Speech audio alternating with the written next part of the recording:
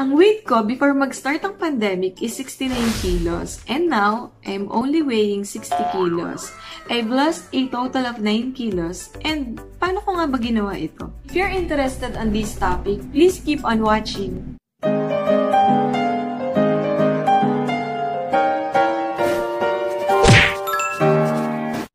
Hi guys, I'm Rika G and this is Rika G channel. Welcome back for another vlog and before I start, please subscribe to my channel and click the notification bell below for you to be notified whenever I upload new videos.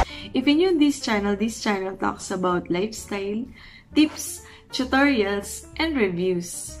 For today's vlog, I will share with you kung paano nga ba ako pumayat and paano ako nag-lose ng 9 kilos. So, before ako mag-start, I'll just give a brief background.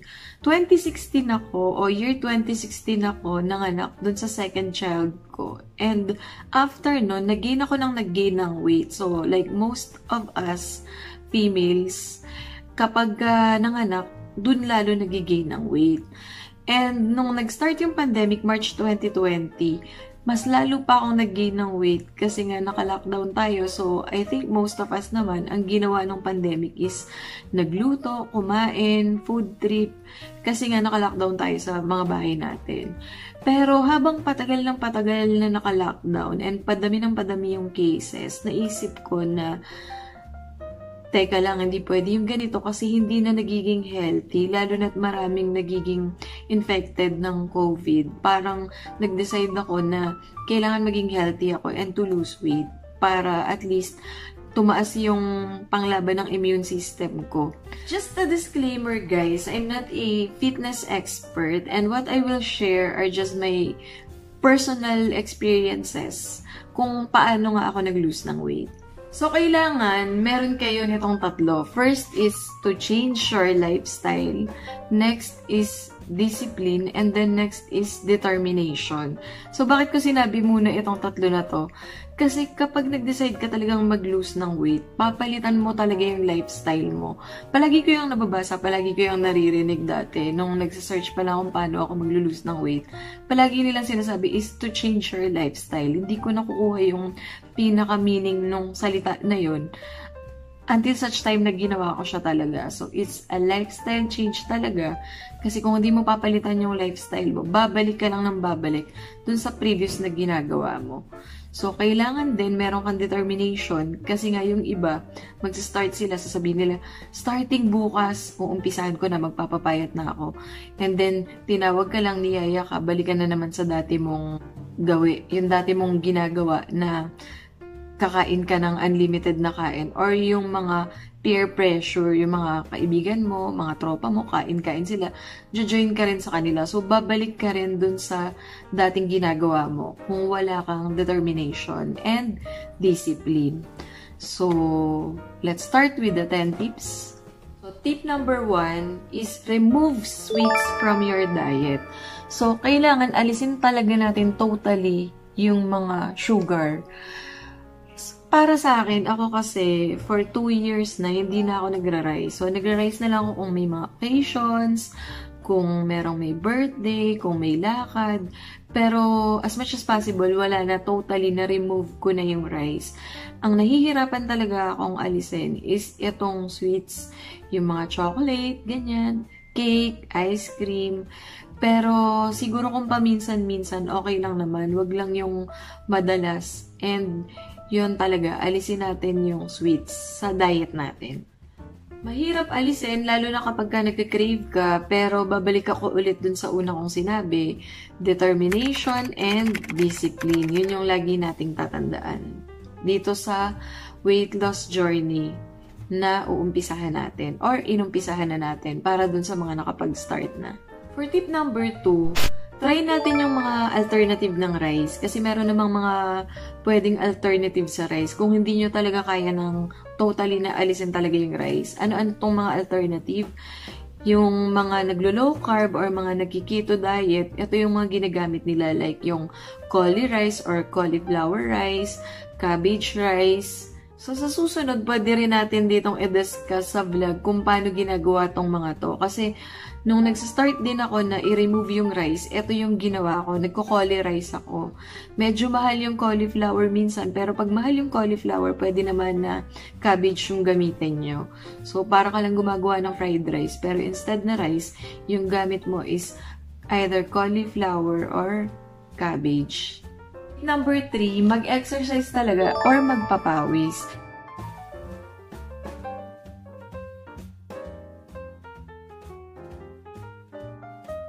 Kung mabigat ka, kung magsa-start ka ng weight loss journey mo, and kung mabigat ka talaga, pwede kang mag-start muna sa aerobics. Kasi yung aerobics, nasa isang position ka lang, hindi masyadong magalaw, hindi masyadong maraming mabibigat na movement, paulit-ulit lang yung movement. And para rin tipid ka, hindi ka na mag-gym membership, pwede ka rin naman sa loob ng bahay, merong mga YouTube videos na pwede mong gayahin. Kung gusto mong mag-exercise, pwede ka rin tumakbo or mag-jumping rope. Yun yung mga mabibilis na makapag-lose ng weight ng may cardio. Sa mga susunod kong vlog, pwede ko rin i-discuss yung mga YouTube videos or mga YouTuber na nakasubscribe ako na kung ano yung mga pinapanood kong exercises to lose weight. Number 4, mag-add tayo ng water intake. So, masanay tayo na umiinom talaga tayo ng maraming water daily. So, ako kasi, pagdating ko pa lang ng office, kukuha na agad ako ng water, pupunuin ko na yung lalagyan ko, and uubusin ko talaga yun. Siguro makaka 5 to 4 glasses ako ng water. Eh, malaki kasi yung lalagyan na yun. So, minsan kasi akala natin gutom tayo, pero yun pala, nauuhaw lang tayo.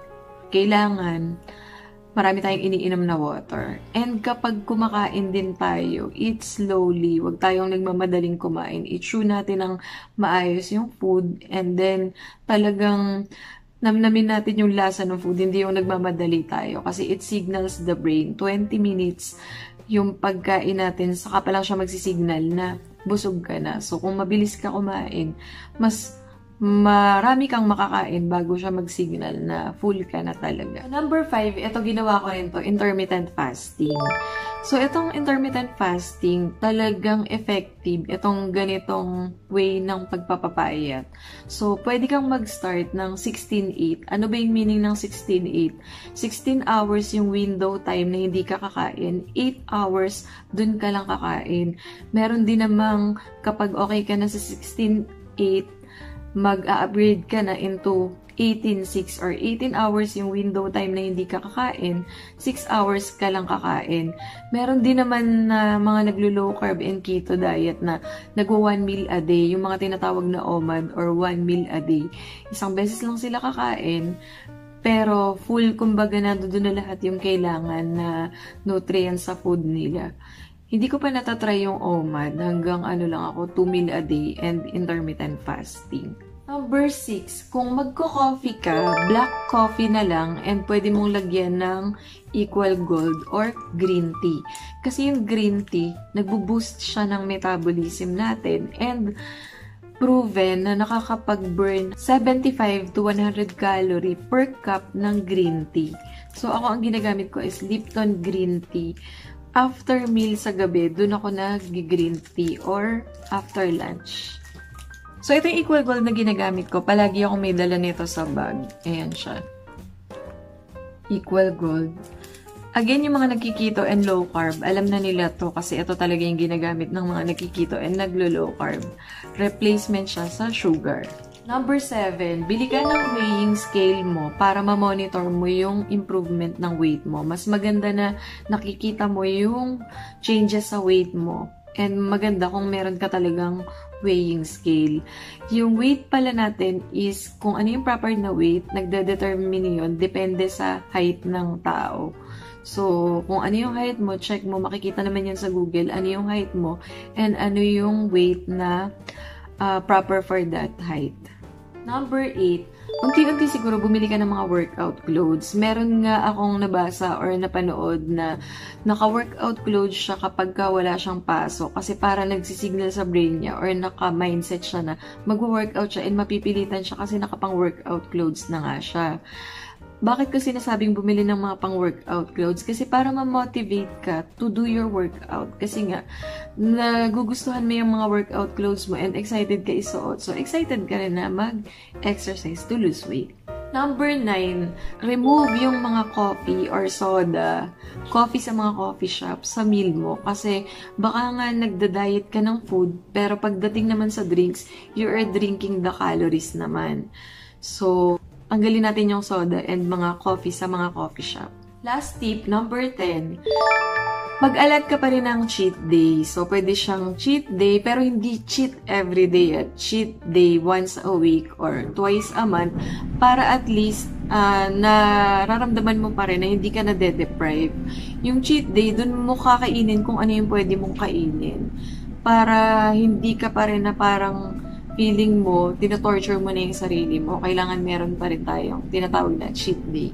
And guys, once na nag-start na kayo and nag-decide na kayo na mag-start, there's no turning back. Hindi na dapat kayo babalik dun sa dati yung ginagawa. So that's it guys. Thank you for watching Rika G channel. I hope you enjoyed this video. And if you want more of weight loss and fitness video, please comment down below. Until my next vlog, bye!